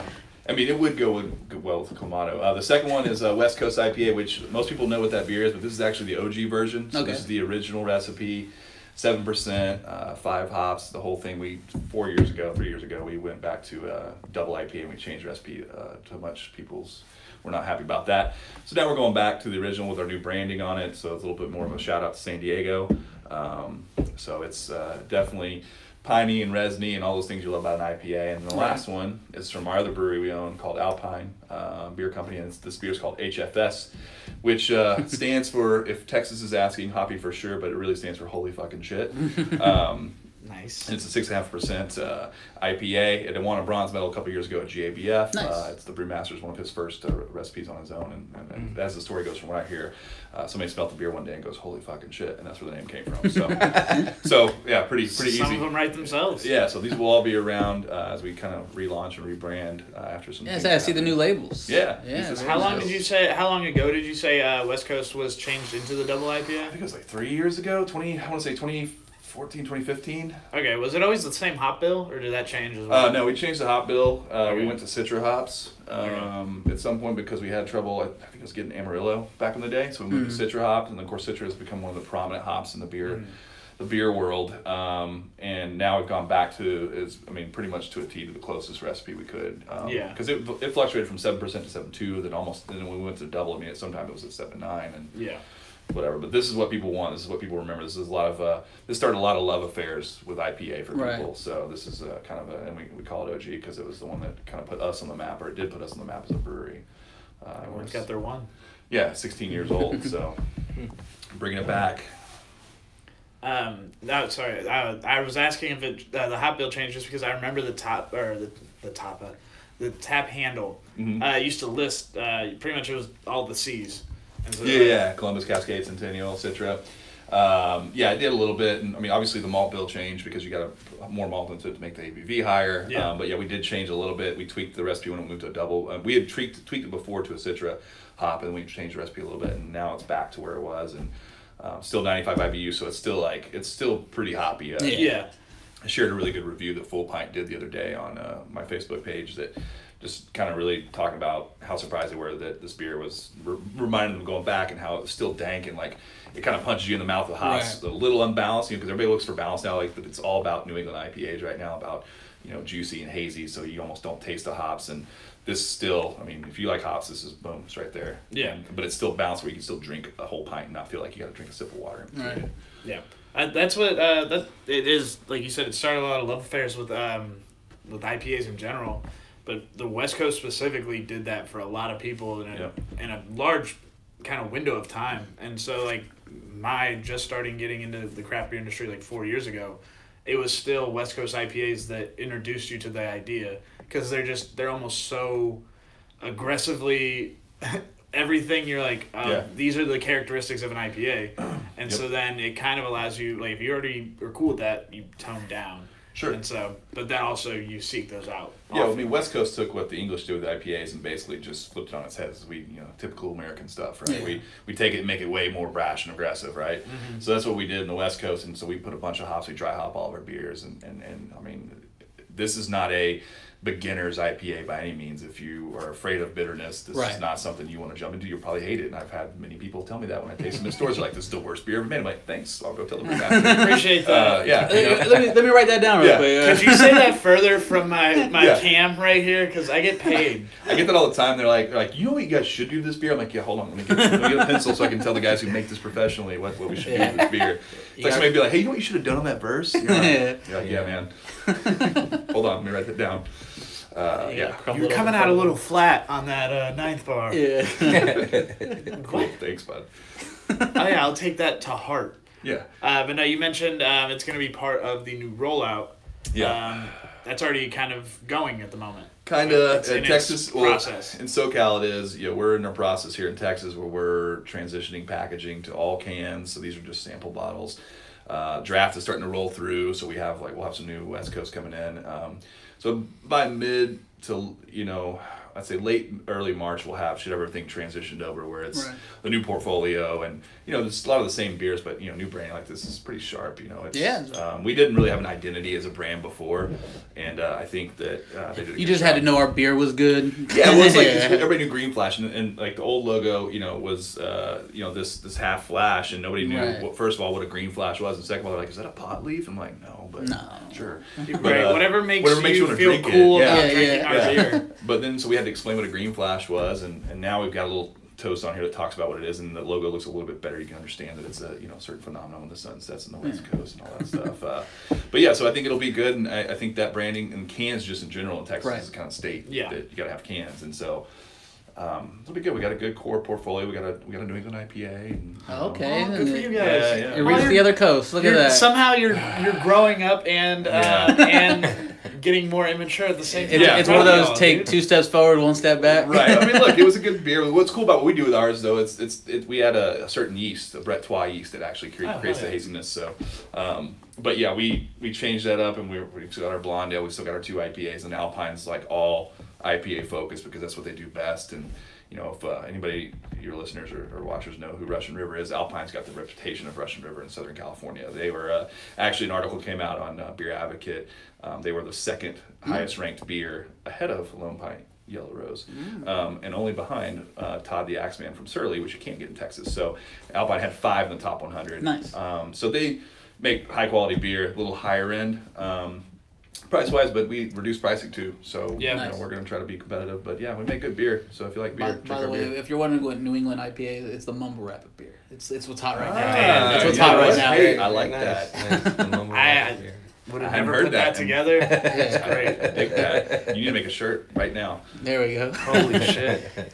Uh, real quick, Doc, I wanted to know what one what it was like collaborating with Rosewood Thieves. I love the music they put together. Oh yeah, yeah, yeah. Um, How would that come about? You know, my my wife uh, used to work at the mayor's office, and uh, James w- uh, interned with her. Okay. So that's that's how that was the first connection was that that they worked together. And I got like a mixtape from him, and uh, and and they had one of the, and it had Freedom on there, um, and I think. I think Melissa was the first one to work with them. My, my wife sings, and um, she she sang the hook on one of their songs, and and then uh, you know when they they did their I, I I started going to their shows and just becoming friends with with all of them. Right. and and then uh, December they called me and I went and played for their their uh, Christmas album. And um, just recently uh, actually they I, I, I was thinking that I, I was in the studio with them but I, I was there because they were giving me something. They made a little Doc Loc promo promo because Nice. I, I had done a Kickstarter um, an unsuccessful Kickstarter and uh, yeah it's cool I got raised 5000 out of 8 but I got nothing, Nice. Hey. got nothing so but they don't Oh, yeah, if you don't hit the not mark, with they don't Kickstarter, and it. I'm still Oh, trying really? to yeah, and I'm still trying to like educate my friends on Facebook that uh, I got nothing out of that because I'm doing an Indiegogo now, and they're like, um, We gave gave you you money. money. didn't already. we? Yeah, it's like no, you didn't get charged, and if you didn't give me money, you should give anyways. So eh, that's a good segue here. You have the Indiegogo up right now, and that's for the show on St. Patrick's Day, correct? right, shows and shirts, um, and uh, and and then VIP uh, or or uh, Music lessons lesson? with me. Yeah, yeah, yeah. You you've done really well, by the way. Thank Uh, you. Uh, I don't know. How, yeah. Anyhow, so um, yeah, if you go on Indiegogo and search Doc Loc and the Swangers, um, it's actually cheaper uh, to do it that way. Right. But uh, the tickets are up on Eventbrite. Uh, it's just on on it on uh, the Indiegogo. I I eat the cost of, of the processing stuff Right. And then on Eventbrite, you pay it, so it's it's just a little bit, you know. Right. I, I'm I'm happy if people go on either one or show Right. up the day of, but it'd be real cool to know that I can pay the musicians before the show starts. Exactly, And yeah. s- that way, I'm not you know, keep looking at the front door, hoping Yeah. people just keep walking in. That's stressful. Was that ever a problem with y'all's band packing out the place? No, man, we just, just- we just always did. We never charged cover when we did it though. Sorry, we just um. They're like, hey, you we want to just come to the killed it every time we Yeah. showed up. People So do with this. Right. Yeah, but, but keep in mind, we never went past that bar in Waco, Right, right, so right. like we didn't really. We owned that spot. That was y'all's MSG. Yeah. No, no tour yeah, no regional we, tour. No tour. We were hoping for a VH1 behind the music, but it didn't ever happen. You know, so they never got Yeah. in touch with us. yeah, they didn't call us. Bastards. Yeah. What do you hope to, to do after this? You know, do you, do you hope to, to continue to collaborate with, with more musicians like Rosewood Thieves or, or artists like Paul Wall and stuff like that? Or do Um, you want to continue Doc Loc and the Swangers, see what y'all can do after this? I'd love to do more shows. Um, uh, I've talked to ESG. Um, he's he's interested. I now I think I'm you know. I'm not like real tight friends with him, so I can't just like say, "Hey, rap for free on my track." Yeah. you have licensing, you'll get paid more than I will, anyways. But- Right. But you know, it didn't didn't work that way. You know, those guys are those really good business persons, and you know have managers and and and uh, uh, so I, I just I'd like to do more collaborations with the original rappers Right. um, for sure and that you know I think that'll take some people that you know that, that just have some bread and, and believe in the um, believe in the project and, and I've already had some of that That's good. you know so I just want to keep I want to keep doing it That's good to hear. There, there's a lot of young, hungry artists out there too. Like they're in in Houston, they're talented. That yeah it, it would be. Um, it, I mean, obviously they're not ESG, and so the, it'd be a little easier to get in touch with them about maybe working together, almost in a dude, some Rosewood young Thieves Right. style. And so, but I understand what, what you're going for is to get the classics. Well, I, I mean that For the that's moment. part of this this, but I, I don't I when I went into it, I, I didn't know what the result's gonna be. Right. I don't Yeah, know right. who's gonna like it. I don't know what it's gonna do to my career. I know it's gonna and it's definitely changing me and opening to a different audience. So I'm I'm absolutely willing and uh, you know I'd love to work with new artists in Mm-hmm. the studio and and maybe take something that's kind of stale, but if they're but if if they have like a story and and something that I that I that I I, I drawn to? like yeah that's Yeah. something I'm drawn to. I'd be like, hey, how about I write three horns on this and you know let's use let's Right. use real drums and bass and you know if somebody's got like a little budget trying to make it you know make Right. it right for everybody then Mhm. Um, I'd, I'd love to make some new stuff too Yeah. you know, I'm not just stuck in the past Of course. I got I mean you. I'm kind of stuck in the past We're all a little stuck in the past. I'm, it, I'm pretty sure most of our business model is being stuck in the past and celebrating it. so. that's right that's right But it's, it's, it's such a past, like, you have to celebrate it. Yeah. right But, I mean, hell, if, if we don't celebrate it and we have all these people biting off of it, you know, we're not proud of our own stuff. You know, it just it's just not a good look. There, it is being what what Houston and not what we've done. I'm not a musician, but what Houston has done is being recognized all over the country. Yep. People Right. are incorporating what we've done into their sound, into their swagger, etc. and outside of the country Right. Yeah. And so we need to we need hometown. We need to celebrate our. We need to What's know cool about what it's Paul worth Wall celebrating. Did, like throwing about like giving you a shout out and like showing like, hey, this is legit. Like this is cool. Yeah. Yeah. Right. And that helps the cool factor for everybody that want to, you know, to say, hey, that's a good idea. Like that's something different. Right. You know, everybody needs to separate themselves because we kind of talked about earlier. Like, and you're doing cool. it you're doing it the Local. right way because it, it wasn't like you just put you know the Paul Wall vocals over y'all's Yeah. instruments you know Oh, yeah, good. that's a good way to get sued right Yeah. I would say, and you did so much hard work to get to that point. right Well- Why cheat at, at that point? You know? Right. And I love that he updated it too. Yeah. He, Yeah. made- he updated it, and so did uh, Big Pokey. right Yeah. The Yeah. beginning of Big Pokey's verse sounds almost like a freestyle. And then it starts, right, right. Yeah, and then it starts to get, you're like, okay, yeah, yeah. I'm recognizing all these words again. But yeah, that's what I mean. It was like hearing it for the first time because then, because there were parts that were changed, so then it's deciphering Yeah. those those points that were changed. That one I definitely did. Uh, did did some some diff- did some Yeah. stuff. I got you. and I, the ending. I mean, I love that they rapped on it, but the ending, like musically, I I, I like what I wrote. You're, you're supposed to like what you do. It's Yeah. a it's a good big band. Like it's it's definitely big band. Yeah. Like just a real you know flag waving, screaming trumpet, screaming trombone stuff. Mhm. I feel like- agreed It's agreed. What's the response to like you know wanting to keep it clean and no misogyny, no you know, no kind of like I mean, I mean, because I know like some of that stuff part of the image and that people aren't really that way, but like, are they cool? Like they're like, no, this is, it's got to be this way, or they're like, no, I'm cool with changing it. No, I, I didn't. Um, you know, on, on, honestly, I, I wasn't there when Paul Wall did it. You know, he did Yeah. it remotely. Um, yeah, the, the the one thing that he says, I think, is still in the it's in the version. You know, uh, hoes diss me in the club, same hoes in the parking lot bopping. Right. Yeah. That's still that that's you I- know I, when I went to play it for my college class, I was like, wait, this is I'm playing for seventeen women, Yeah. and I'm like, uh, that was maybe not cool.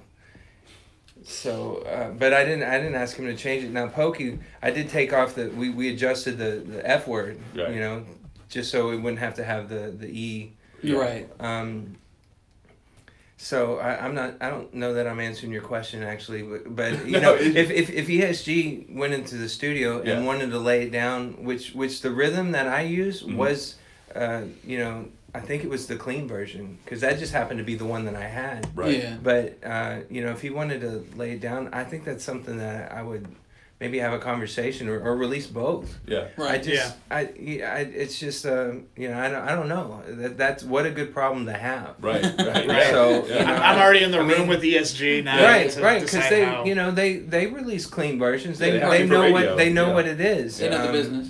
and Yeah. uh, you know, and, and and but getting into a whole different world though, the the one thing that I would want it. Uh, now that I'm thinking about it more, I would want it clean because I'm like I'm a white boy. Yeah. doing black music and do I want the N word on the record? I don't. Yeah. I'm not right. It's you know Paul Wall never uses it. Eminem Yeah. never uses it. Yeah. You know, so it's it to me it's kind of kind of weird. You know, if if I'm not on the track rapping Yeah. and he's using it and we're like together, it it's it it's it's it's I feel you. you know, Yeah. There's a there's a tie still to where you, it doesn't make you comfortable to allow Yeah. it. Or- yeah. I, I think is how It's- I'm it's- reading it. It's such a tricky thing, you know. Like in my neighborhood, I live in a black neighborhood, and I, I jam, you know, I bang screw all the time. Right. And then sometimes, you know, depending on my mood, uh, my windows will be all the way down, and my subwoofer will be all the way up. And then I think of like, okay, I need to do this. I need to dump this word because it's like Yeah. that's that's offensive. That's not my word. Right. Right. I feel you. Yeah. Um, It's like that scene in Office Space. That's a that's a yeah. That's I, I think that's a long, Yeah. d- deep conversation. Oh, No, but that's, Yeah. that's what I was asking because I mean sometimes people just to get in the moment they want to say what they want to say and you Yeah. know sometimes people may take that hey th- this word has to be there or this uh, quote has to be there because it changes the whole song so it's kind of interesting because I know you want to keep it as clean I'm just curious like if I mean to this point obviously no but if- what what if there's any pushback if any ever to that because Yeah. like that's a it's an interesting thing because people don't want to artistically change things necessarily Right. all the Yeah. time you know Well, yeah, I think and and but you know the other side of it, I think if I pay him yeah Yeah, if I give him, if I, you know, whatever it takes, I don't know what it I takes, think but. I think it'd be like, you know, you got your bread and it's going to be a radio edit, you know, because Yeah. I want to hear this on the box and 90.9 KTSU and Right. Yeah, I'd like to Yeah. listen to my own music on the way on Yeah, the radio. on the radio, yeah. Yeah. And like you said, they do most of them like especially more in the past. It doesn't happen as often now. Uh, with hip hop artists specifically, is who I'm thinking of, is they'll release the edited versions as well. Right. And like we had um the um the artist from last week, Tim Woods, he had gone on tour with uh, Tobe Nwigwe, who's a really big blowing up Houston rapper right now. Straight edge, clean, everything. Doesn't curse. And, and it's like a it, it's his principles. He it's not like Yeah. he doesn't preach it or anything. It- Yeah. it- there's a little message to it, but it's also like he it's more of an understanding that he has for the business in cleanliness. right. Yeah. And it's also the, his the way he likes to carry himself. And so it's benefited him to go an entire rap career Right. without bitches hoes Right. yeah. and yeah, like yeah. saying things Drugs that kind of cool though. I mean, Yeah. because I mean that's Yeah. part of the culture a little bit, and that's Right. kind of cool to show that hey, we can do it, and it's not cheesy. Right. Yeah. You know, because like you Right. think, I think I think cheesy rap and I think DC talk and things like that, where it's like forced, you Yeah. know, and things like that, and like this, Bad 80s, 90s yeah, Christian, like Christian hip-hop. rap, yeah, it's, It's the it's the line that Chance the Rapper is currently walking.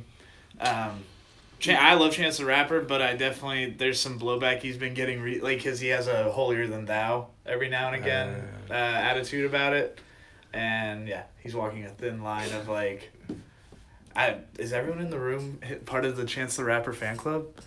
No, I'm just trying to hear No, what you're we're trying to Oh, okay, sorry. Garrett's never No, had I a full don't- room of people don't- listen to him. Yeah. I don't, No one blew back at it. I was like, all right, all right. Sorry. No, I, there's a lot of music that I don't.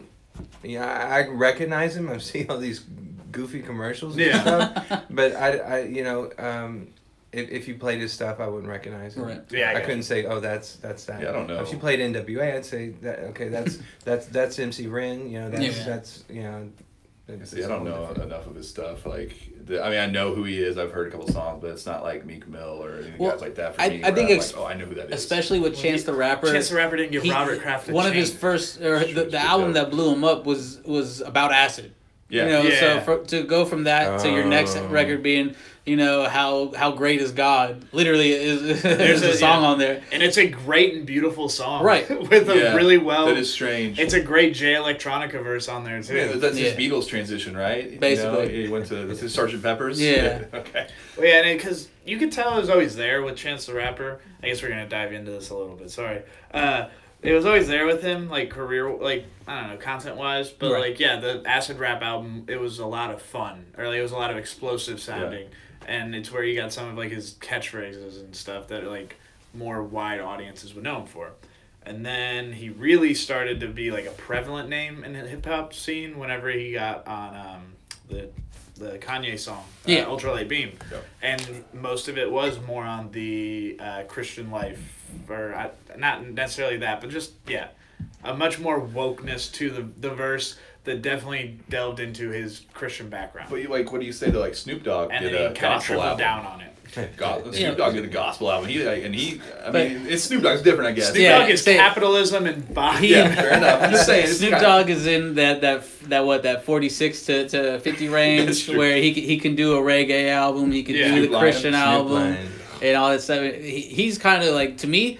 He He gets He's a a pass. He can do whatever he, he, wants. he comes off to me as old or T Pain. Yeah, okay. T Pain has built himself in this culture around the internet and stuff like that, and Yeah. what's trending, and he he loves it. He's still young, Yeah. but Snoop Dogg is like he he was before the internet, Yeah. and then he was thrown into this, and now he's just like a, a cultural thing. He's a Yeah. cultural icon. He's not really Snoop Lion anymore, he's, or Snoop Dogg anymore. He's Snoop Dogg the.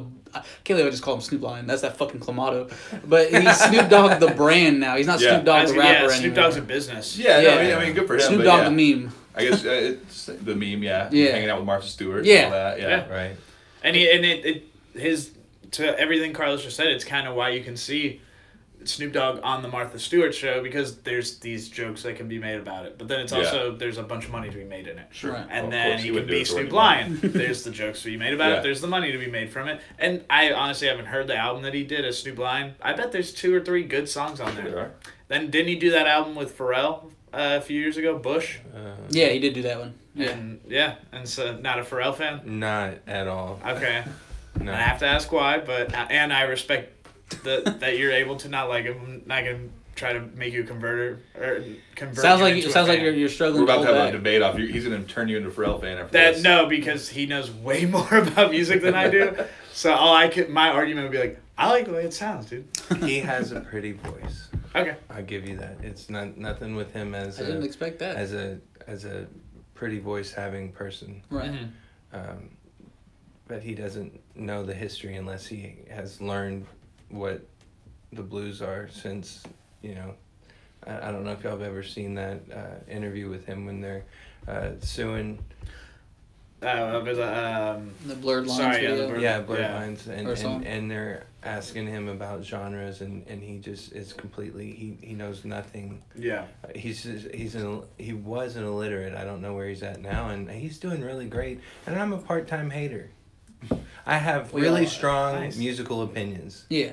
Um, I would imagine you do. and It's hard for me to listen to music and not analyze it. yeah. Like this is this is wrong. This is this is this could be better. This is mixed poorly. You know, this should have more bass. This should be louder. I feel like all artists do that, though. I mean, even sports guy. I mean, I mean, I, I look. I played I was in college. say you're a beer and guy. I never, you know, played at the high levels as pro athletes, but I sit there and, and I look at the game from an aspect of like, okay, well, they missed this block here, why are they running this scheme or whatever. Right. Yeah. And I don't know any more than Bill Belichick, of course, but I do the same thing. But the same thing with Very high pedestal. Yeah, yeah. I don't know more than Bill. Bill, Belichick. Bill Belichick, Dana Josh Holgorsen. Samples. Right there. Bill O'Brien. Uh, I probably know a little God. more than Bill O'Brien. there you go. Just kidding. Adam Gase. Uh, oh man, that's a great meme. Falling around the tacos. Anyways, um, yeah, like, but beer's the same thing. Like, and I, I can be very opinionated, Right. but it, it's kind of it's my opinion. So Right. what I feel about any local brewery or any regional brewery is my opinion. Right. Every palate's different, but I do critique it, and I think it's the same thing with any artist that uh, you do movies, you sports, whatever. You're sitting there, you're like.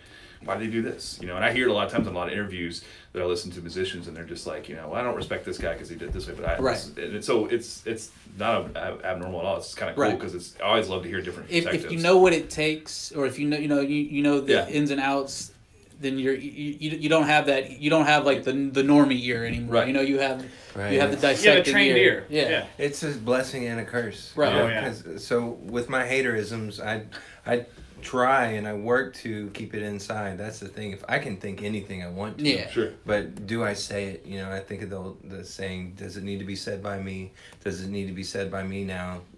Um, that's I'm I I'm I fucked that up. Does it start with? Does, it need, to be, said? Yeah, Does okay. it need to be said by me? Does it need to be said by me What, now? Yeah. what's an artist that you, that you you hated and then like you had no choice it kind of grew on you Joey Alexander. okay i'm about to check them out Yeah, he's a, he's a phenom. He's he's he's uh, I think he's 14 now. When he Oh, wow. when he came out, he was 10.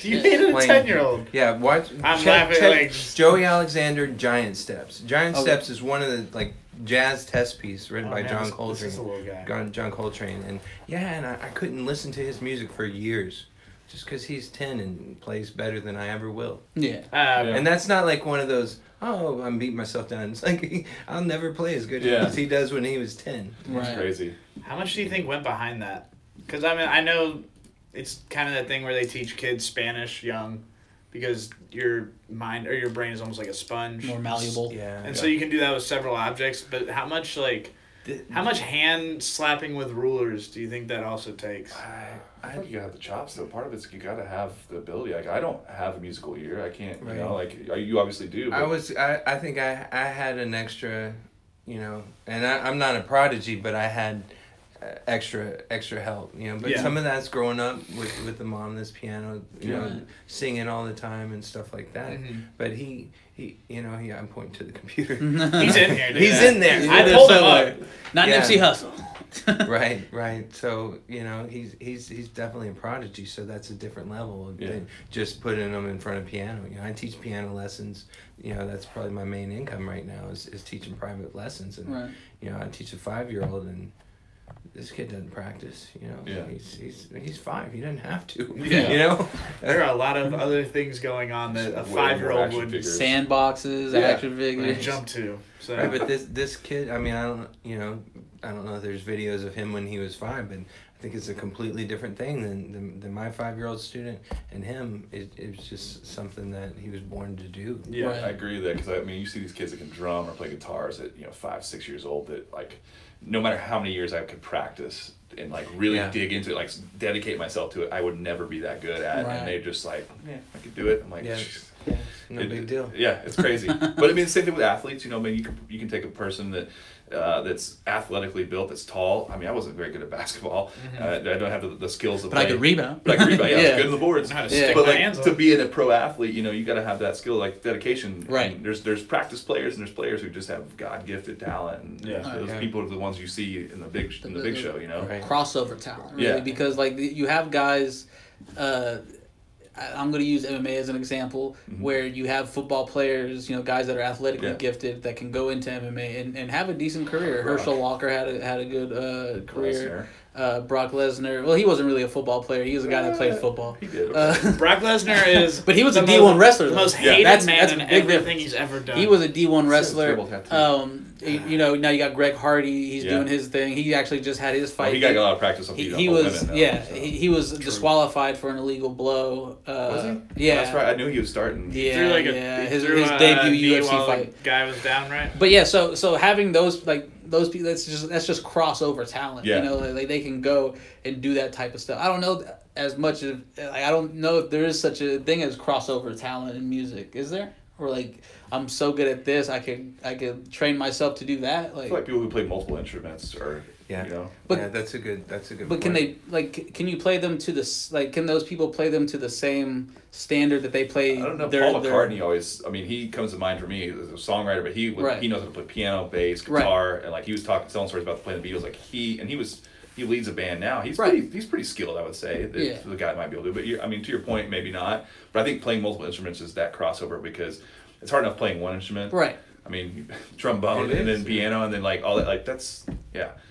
My brain just doesn't work that way. Right. It's too Yeah. difficult. Well, I got to college and I, I started playing trombone on gigs, and I saw how other trombone players how they live, and it's like th th there aren't a lot of gigs for trombone players. Mm-hmm. Right. Let's be honest. already It's for the women though, right? Uh, you know, trombone players and women. Yeah, Yeah, dude, that's, strong arm. They, the girls love the trombone. Yeah, yeah. They But that- flock But you can play the piano and sing. and sing right, Yeah. and that's a big Sorry. difference between just playing piano because Yeah. there's more gigs for for singing piano players. Sure. Right. There's even more gigs for singing piano players that can do Billy Joel Yeah. and Elton John. Right. But I'm not there because I'm a you know again going back to being a hater and a jazz go work at Pete's Yeah. or jazz yeah. intelligentsia or some. I'm just Yeah. Is there an instrument that you would love to learn how to play? Oh. Well, I, I, I like if see I, I'm like seeing the whole orchestra right now. Yeah. that's tough. Um, you know, guitar is something that I, I, I studied for a little bit. Um, you know, self taught. That's actually when I was on the uh, Luther unit um, in the, on the trustee camp, and you could check out the guitar from the you know from the front, and I would take it up to the like outside Right. and and just work on guitar. Just having a prison memory there. Thanks, y'all. Sorry, No, I was just going. letting letting you uh, just follow that. That yeah, path. yeah, I'm homesick, you know. I got you. That I'm, I'm I just I love listening to people who are musically talented talk about like the feeling of mu- like or Right. just learning it and everything because it never clicked for me. to Garrett and I, that sounds good. Yeah. Yeah. but to you, you know, you know why it sounds good or why it sounds it, bad yeah, or yeah, or and what's, stuff like what's that. wrong? Yeah. What, what note you missed? That's Right. why my haterisms come from. Because I don't know if I'm just yeah I don't know if I'm a part time hater as much as it's just beautiful locks. it's in me. Yeah. But no, um, my like what I've had to train myself to do now is say that wasn't for me because Oh, yeah, like that's there's a nice way to put it. there's a lot of bad shit out there, but like most of it, I I've had to take a step back and go. Millions of people like it. It's Right. hundred percent the analogy to use for craft beer because Yep. what I've always taught people, and I have to catch myself sometimes too, is that I can't say a beer is terrible. I, like I was talking about earlier, people are like that's the worst beer I've ever had. I'm like, okay, well, it's not for you, but there's somebody who loves this beer who will really like this beer. That you know, there are breweries out here making bad beer, in my opinion, but that's Yeah. maybe somebody likes it. So Right. Right. you know, there's fundamental things you can do wrong in beer, just like there is in music. Yeah. But it's it's my opinion, but you gotta learn to say it's not for me. It's not my style, you know, and, and, and not you know crap on somebody or shit on somebody's taste, you know, because that's just kind of kind of rude. You know? Yeah. That and then you also set it up in your mind now. You, like you've shut the door. That beer sucks. Yeah. It could get better and uh, hopefully sooner than later. But fuck it. Say you have the beer. so- Um, a free beer is always a free beer. Sure. Is the rule, and so it, say you have that same beer you hated four years ago. Yeah. Four years later, and you're like, for s- some circumstances, maybe like I like this beer more now. Yeah. Whatever it is. So like, if Might you be the music. What's that? There you go. So it could be the music. Yeah. Palates change. You man. think so? Taste change. Certain bars play shitty music. yes, Sorry. they do. Sorry, certain bars play uh, a lot of music that's not, for, me. There you go. See? Yeah. Education. Yeah. But I'm, I'm that- gonna use that. That's been my like that's I'm been my that on my growing moment in in the the last like three Lil years. Pump is not for me. Yeah, like it's not for me, but but also if you can critique it though, if you see that somebody's doing something wrong, I mean, obviously, yeah, it's not for me, but because I don't like that this person does that, you know, Mhm. Yeah. or how they did this, because like uh, that's that's one thing I can't do. Like I can say something's not for me, but I Right. have no reason why somebody had a bad live performance and somebody's like, dude, that's terrible. Like they're not really good at this instrument, or they're not really good at Yeah. this, because you can cover up a lot with a live performance i- if you're decent enough. I think. I, know, I feel like there's ear. there's less room for for error or for being bad in music because you can tell when something is fundamentally you know not right. Yeah, Whereas in beer, It you know, yeah. it, it you can hide a lot for sure. Yeah, yeah, yeah, yeah. absolutely. That's There's why a lot of gas people are doing- stations all over the place with peanut butter cups for sale. Uh, that's why a lot of people are doing milkshake IPAs and you know those New England IPAs because it's you know easy. you made the right face. Yeah, because it's easier to. I, rem- I remember enough about beer to, that that sounds like a bad idea. That's why it's funny that everybody was up in arms about this Bud Light commercial about corn syrup, and it's like somewhere somebody's at, you know throwing a pack of Hostess donuts into their boil to, to Yeah. make their next pastry stout. Like it's like you guys drink adjuncts too. Like don't calm down. Yeah. You know. Yeah. Uh, so pretty much what's going or what's going on in beer in the last like two, three years. I mean, it's Yeah. been going on, but like it's gotten popularized Prevalent last two years, last two, yeah. three years. Is um, taking what some used to consider like aggressive styles and sugarifying. Trying to ti tame it down with sugar. fruiting them up, adding lactose sugar, um, and yeah, adding whatever. Yeah, and it's it's created some very good beers out of the process. Yeah, absolutely. It has also created some of the worst events, uh, some of the most mediocre beer that was not for me. Overhyped. I mean, just think of an IPA that's you know it's supposed to be bitter, and then you're throwing lactose in it, and you Right. you call it a milkshake IPA, and it's just you know blueberry something IPA. It just throws you off. It just doesn't sound appealing. We actually inadvertently did a lactose uh, IPA several years ago because long story short, we wanted the rights to a name called Road Warrior, a beer that uh, was already produced by Terrapin in Atlanta. So we contacted them and said, hey, look, we'll buy the rights. They said, no, let's do a collaboration. So we did one. We called it Tangerine Dreamsicle. It was a tangerine IPA with lactose, non-fermenting uh, milk lactose sugars in the end. So it was meant to taste like that tangerine Dreamsicle, Right. uh, orange Dreamsicle cream pop, and it actually did. But we were that was three years ago before all this became a thing, and now Yeah. like you got people who are building breweries based on milkshake IPAs and Yeah. pastry stouts. Yeah. And you know, whatever, for to each your own. Like I said, it's not It's for not me. for me. Not for me. That's a lesson today, kids. Not for me. There Pretty go. much the end of the game or the end of the statement there is uh, Josh Samples is not that active on Instagram. So Yeah, don't follow me on Twitter. Yeah, his yeah, Twitter is for the uh, the cynical, and Instagram is for I have a the business um, Twitter. The dreamers, and a personal Twitter. Yeah. separate the two. Well, now that uh, your business is tagged in this episode, what I want, what I wanted to do Yeah. was publicly run you up about the fact that you told me Tangerine Soul Style would not be returning. Yeah, that's been gone for like a year. Yeah, I know it's been gone. Um, But but yeah, it's not. What, first of all, what the fuck? Why the fuck? And third of all, who the fuck do y'all? I'm just Yeah, no, uh, you were like the That one was for him. That was yes, exactly. Yeah. It's not easy. I say this every time I get it. Like we used to beer, do a beer that was double stout. People were like, "Oh man, I love that beer." I'm like, "Oh, you're the guy. You're the one that bought that beer." Like Yeah. it's Uh, it was Way to speak up. yeah, yeah. thanks. It was less than five percent of what the brewery sold. At, at the end of the day, you know, it was in that that phase where everybody was doing fruited IPAs, and it was a good beer. Don't get me wrong. I used to make a uh, Bromosa with it. Ooh. So you just a little Bromosa. Champagne and tangerine IPA. Boom. It was, it Hell was yeah, good. dude. It was good. But uh, you know, at the end of the day, it just wasn't. We wanted to move away from that and get back kind of more to our roots now. And, and we did this over a year ago. It just it didn't sell well. Yeah. Nah. It was a good beer, and fair. people people who loved it loved it. It's a love or hate kind of thing, and I didn't have a problem with it. When it was fresh, it was the bomb. But like it just not for everybody. It was like a guilty pleasure of mine Yeah. because it was still a great IPA. Yeah. It also sounds like out of your flavor profile, really. Like, Yeah. I- Yeah, I mean, Yeah. well, it went well. The, what we do is a soul style, which has got that tropical fruit note to it. So adding the tangerine uh, puree to it really Yeah. stepped it up um, a notch. The only one we still do with fruit is the passion fruit, which is Yeah. the, you know passion fruit wheat Yeah. ale. So um, it was good beer. Like I just, it wasn't my favorite choice. I had to find ways to sell Right. it because you know people loved it because it was in that phase where everybody's doing fruited beers. Right. I had to find. That's why I came up with the Bromosa. I'm like, dude, do Bromosas. And I did a San Diego beach party event, and we had this uh, surf rock band play out at Cottonwood a couple Nice. years ago, and we had Tangerine IPA. Um, and then we had like you know beach bingo and all that Carafes stuff. and stuff. yeah, but it was cool, man. Like, it was a way to sell it. But yeah, I mean, sorry, man. It's Um, alright. I, I could probably find something around town. I, I can't guarantee it's Nah, fresh. yeah, that's but, what you told Yeah. but I'll, I'll get you some. there you go. you know, I, I appreciate the offer. All right. And you don't have to get It's still some. there. Just let me know. All right. Dog. Well, Soul Style will be back. Oh, sorry. No, yeah, but it will be. Soul, okay, yeah. The regular. Soul Style will be back. just the soul style. Dog, where can the people find one the Indiegogo, two Doc Loc and the Swangers, you know, all your music, all that good stuff, and everything. Okay. Vital information. Where where could the good people find all the vital information? All right, uh, DOC, LOC, and the Swangers. Swangers like the Swangers. It's Um, spelled out and S not W just the, yeah. right A N D T H E S W A N G E R S, and that's a double meaning, right? The swangers that they put on their cars, Mhm. and swing swang Right. from from Big Man. Right. Um, DocLocandTheSwangers.com. Uh, I'd say Facebook is the best best way to to check uh, out what's going on. Uh, the just search Doc Loc and the Swangers that page that has a link to the.